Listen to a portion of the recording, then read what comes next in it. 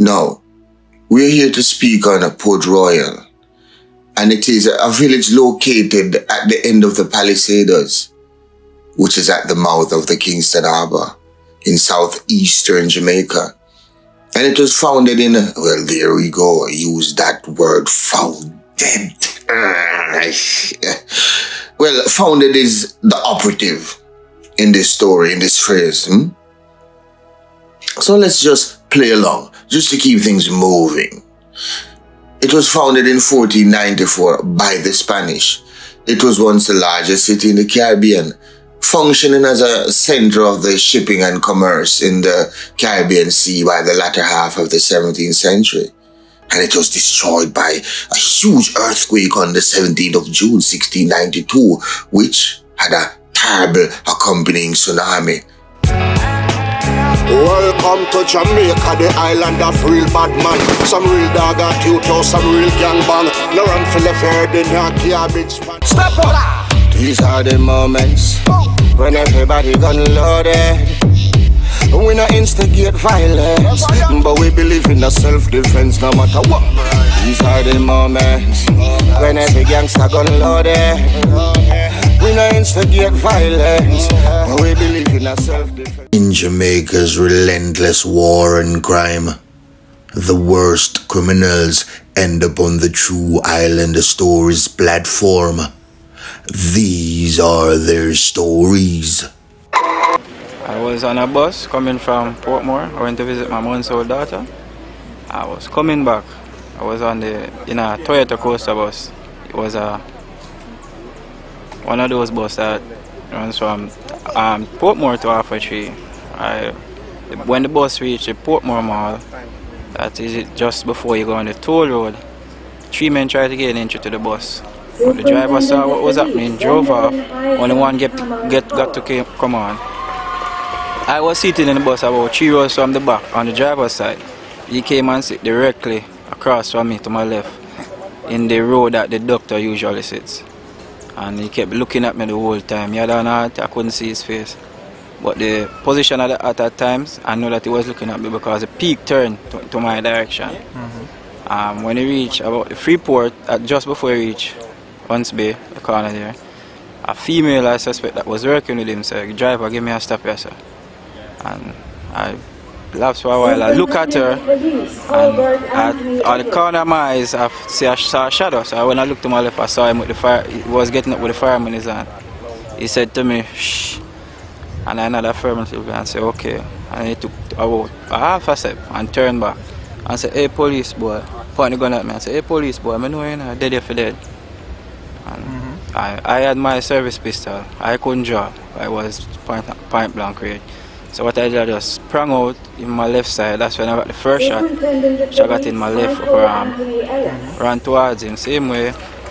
Tried to lift my left hand. Was useless because the shot damaged the nerve instantly. Mm-hmm. And I held on to his, got his, his right hand, which had the gun, and put it in my head side. And I had to hold his hand and move it slightly. That's when he got up, shot almost my head. There's a scar right here which grazed my left ear. Mm -hmm. And the other one was still we were they were we were there tussling. And he fired one more which hit me in my left side. I managed to ease him off, I kicked him, his gun fell to the ground. When his gun fell to the ground, he went under a seat, so he was trying to take it up back. Mm -hmm. I then pulled my firearm, it wasn't charged. I had to make it ready, but when I tried to lift my left hand, it was useless as I said. So I had to run it on my belt parallel to my thigh. That's how I charge it, yeah. Just run it down, my belt parallel to my thigh down, mm-hmm. and charge it. And just at, just at that time, I was coming up with his firearm, I guess to finish me off, and I fired some shot in his direction, and he fell to the ground. These are the moments when everybody gun loaded. We not instigate violence, but we believe in the self-defense no matter what. These are the moments when every gangster gun loaded. We not instigate violence, but we believe in a self-defense. Welcome to True Island Stories. I know you just watched that interview of that police officer, that Jamaican police officer, and his ordeal that he faced that almost, almost cost him his three points. He was almost robbed of his oxygen in what we can only describe as trust me, he must have grave dirt in him top pocket and Father God in his next top pocket. Because that situation could have went one of many ways. But luckily the Lord favored him on that day. The universe favored him on that day and he lived to tell the tale in what we can only describe as gallantry, bravery, and I think he deserved a medal of honor. Now, you listen the story. Now, the guru I got bring a big screen way. So, all stool, get a coffee, get a bread, for waiting on a tea, get a beverage. All who no get ice and go back ice round a marine them round there. So, you understand me? a marine them shop. You see me? Yeah. Guru I go bread back it down phone and go no eat the guru style, the real bread back dongins as only I alone can. Because God gave me an ability to immerse myself upon the scene and it's like I can see the thing happen. It's like I can place myself in the situation and then I can bring it and put you guys in the situation. But before I go, a disclaimer. Sometimes I tell you some things, you know, and sometimes some people believe, sometimes some people don't believe. Sometimes when I do story, people think, oh yeah, go you do story, I do story upon Mobay, I do story upon Six, I do story upon G City, the man squash them, I make a bag of Look on the next video like this. YouTube strike the video again. But yet still, me do part three. Them go to strike it. Remember them strike several of the video them do upon G City. But me still do it, you know. You understand me? So I do that. And I like me I gain financially from it, you know. But people have to know our history. And whether you like it or not, you know, bad breed, six, them a part of our history. Maybe the dark part of the history. But somebody have to tell them story. So hopefully one day my body at work, maybe somebody internationally going to recognize it. You know, and maybe want to do a movie from one of my story them or even one of my brothers them that does the same thing like me. You know what I mean? Maybe me are the one, maybe I on the spot, maybe I my views, maybe I Serpy, or any, you know what I mean? But you never know. So we keep doing it, doing it. So just get it clear, people, me sure no, me no I things from because me no more than nobody. And say a big producer or a film company link me a foreign I want to do a movie pan, you know, one of the gangster them a mobile. You never know. I want to do a docudrama and them link to Island story. What you think me gonna do? You think me gonna just hoard everything for myself? No. Me gonna pass on the glory. If a bad breed, me gonna reach out, try reach out and say, yo brother, this can serve on the community, you know. Boom. Them I go eat too. If a six G City, them I go eat too. Me nah go hoard it for myself because who can tell their story like them? Me can tell piece of them history. If a Rockfort, if a Dunkirk, if a Tivoli, you know, if a Waterhouse badness, and them reach out to me, me go try contact somebody, a main personnel from down that side and say, yo, link the money, I know. You see me? Maybe them want the story from me, but me go reach out and share the glory. So sometime, brother, out of everything where you might say bad, good can come out of it. Cause so the universe work.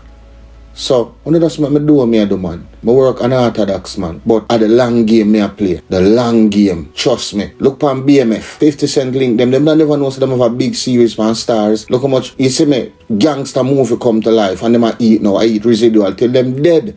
And then pick them next generation I go eat after that. Love me. Make me do what me I do. Maybe I'm me the man, brother.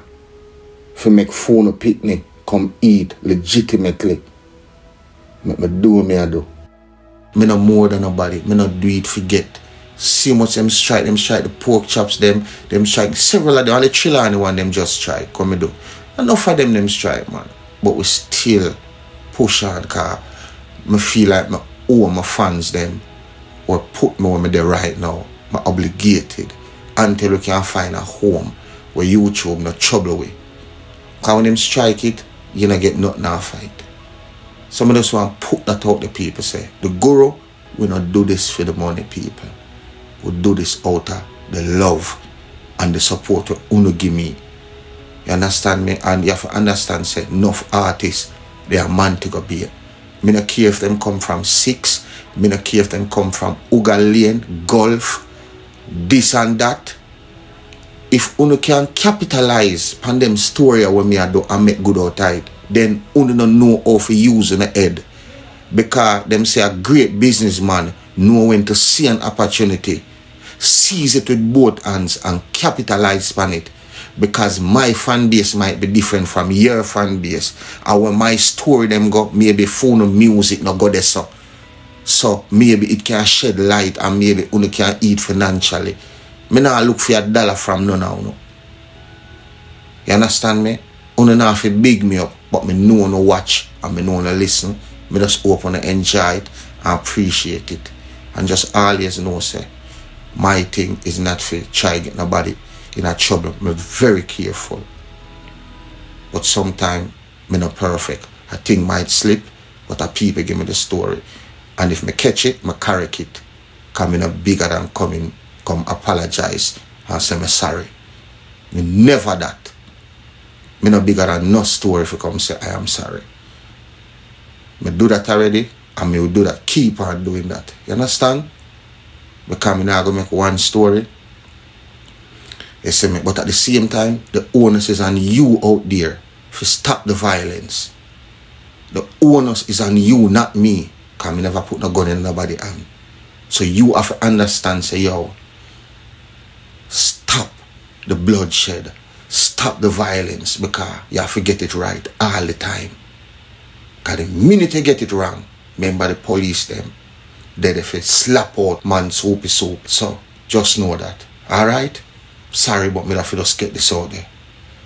Alright, now back to the video I wanna just watch. I listened to the video and it was very touching. And for all who have just joined, it's a video about a policeman, you know, talking about his narrow escape from death. And when I listened to the video, I must say with utmost certainty, God was on his side. The angels were covering him with their wings. No, it's easy for most of us to say what we would have done or what we would have not done were we the one placed in that unfortunate situation. I'm sure someone will go say, yo, the first thing would I do uh, if I'm here the police, I have me a police, yo, would I back my gun from the them company bus and, and mass it under my pouch or under my kerchief or under my rag once me see them jump on the bus.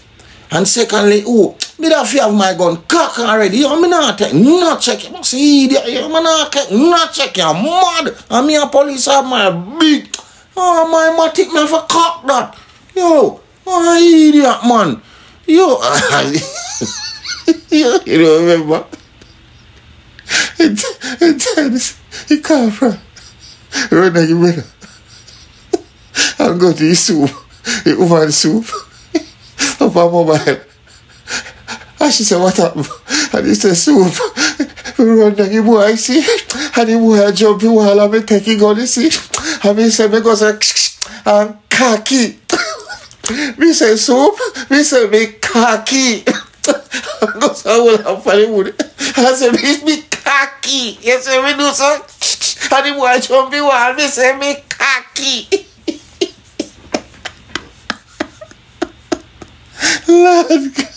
You have seen it, man. Tell the people them story I start As No, you forgot bad one. Acid. Acid.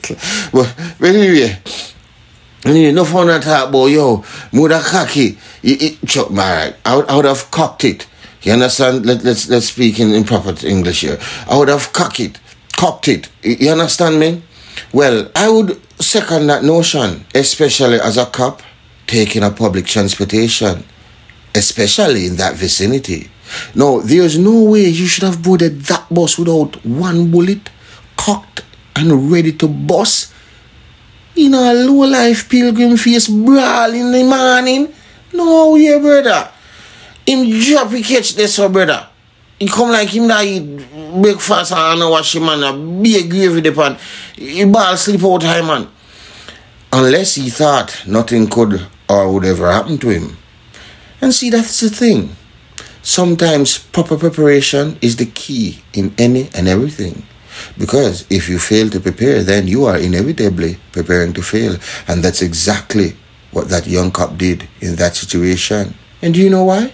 I bet you'd never go on another public transportation or in the public without his gun cocked after that experience. And make sure and put it on safety door.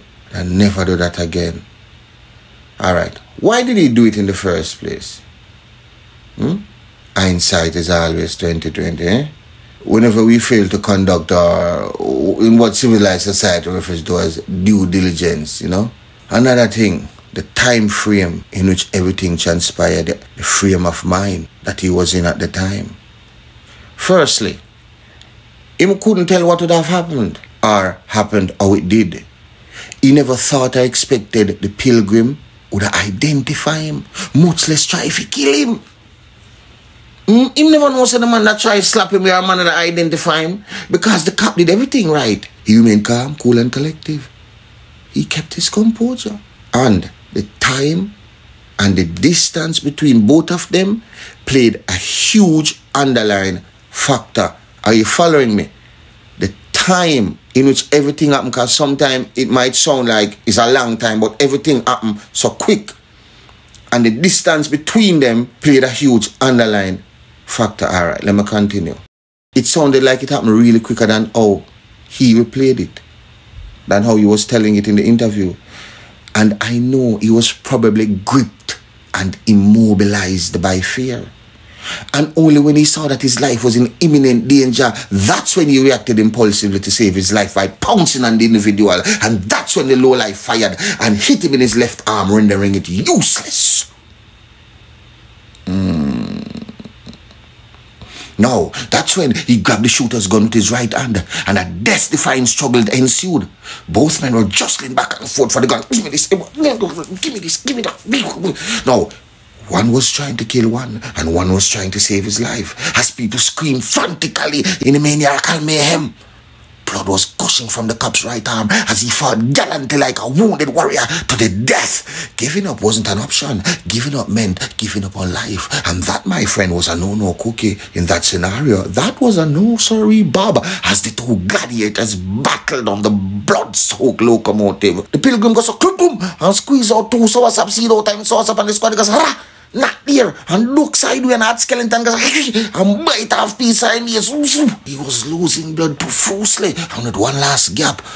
One last please God I need your help in this moment.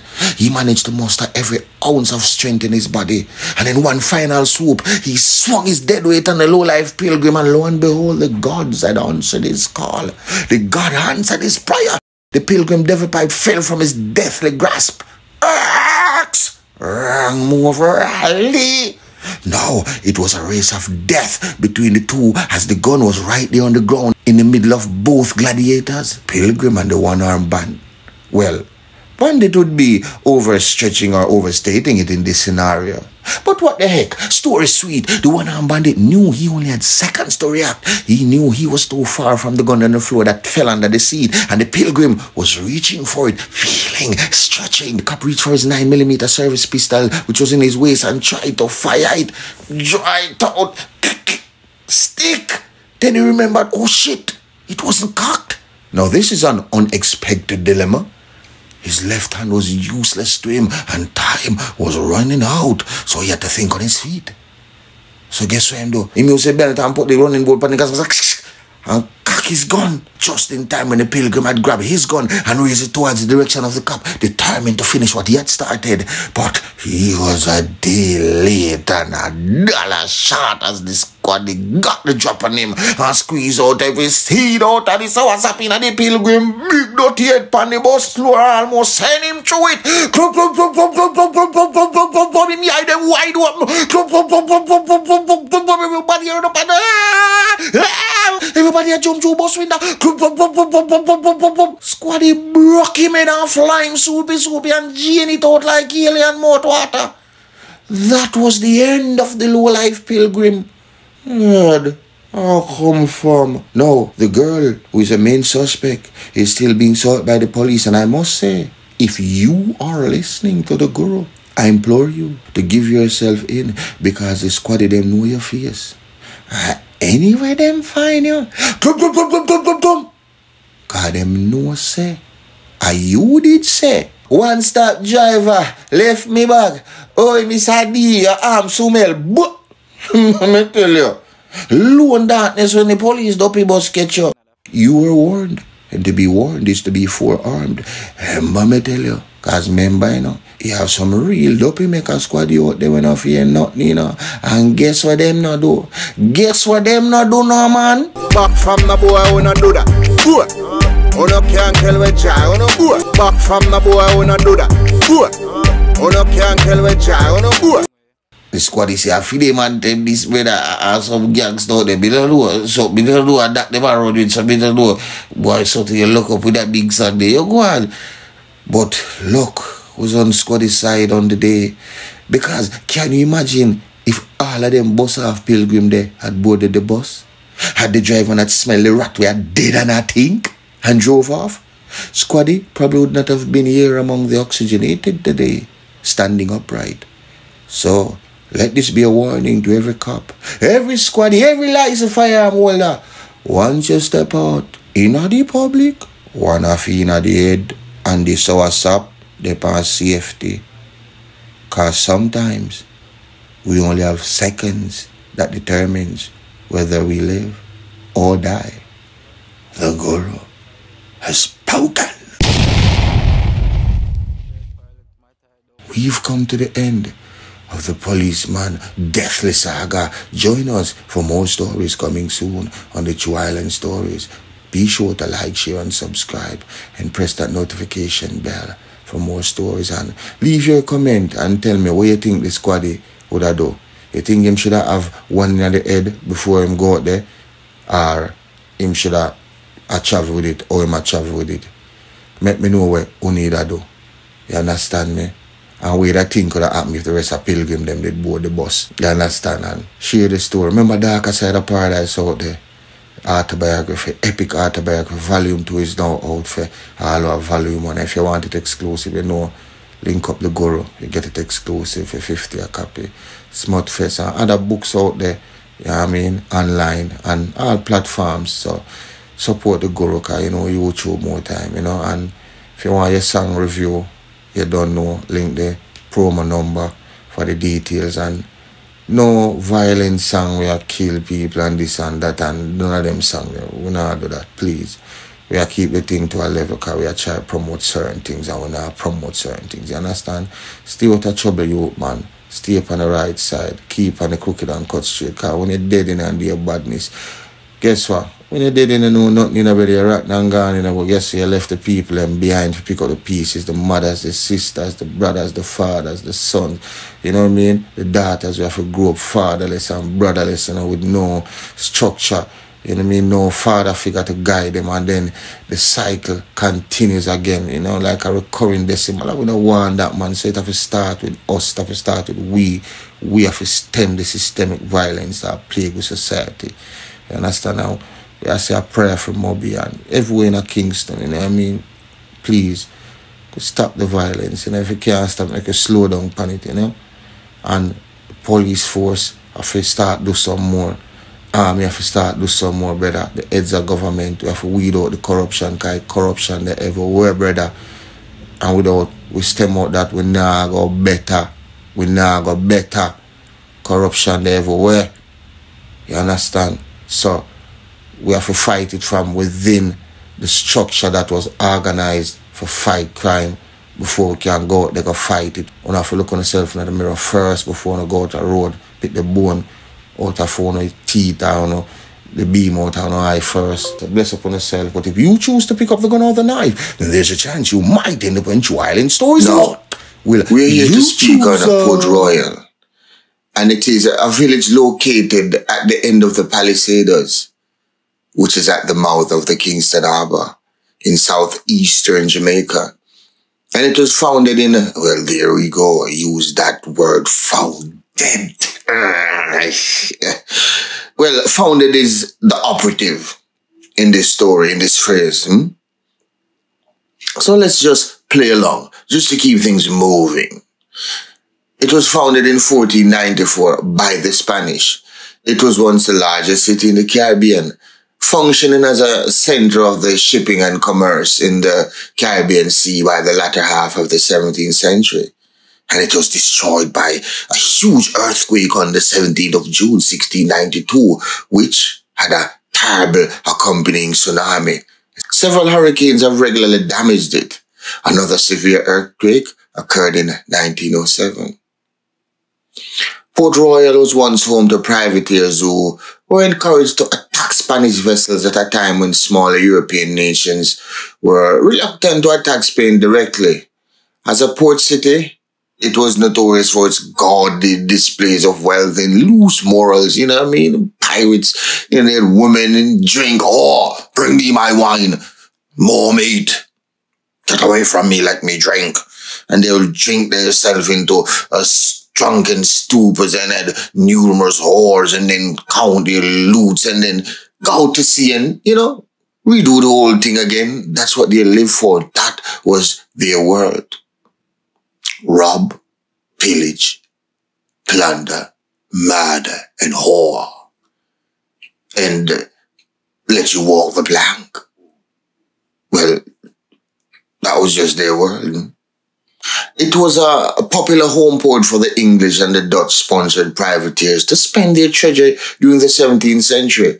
When those governments abandoned the practice of issuing letters of marque to privateers against the Spanish treasure fleets and possessions in the later 16th centuries, many of the crews turned pirates. Okay, let me explain that. When uh, the governments abandoned the practice of issuing letters of marque to privateers, you had men who were they were paid to hunt pirates, paid to attack other vessels, seize their loot. Yes, that was legal. So when that cessation stopped, now the men were out of jobs. They had a skill set, but had no use for it. Now they had to eat. So they said, look, hmm, now you guys over in England are eating, but we are here stuck with ships and no loot, nothing to, you know, no gainful employment. So guess what? We are going to turn on your ships. And thus began the birth of real raw, raw piracy. There was pri- there was piracy before, but legal piracy. What we now call white collar crime back then. If you get what I'm saying. But now, it became us against them, mean pirates against the British.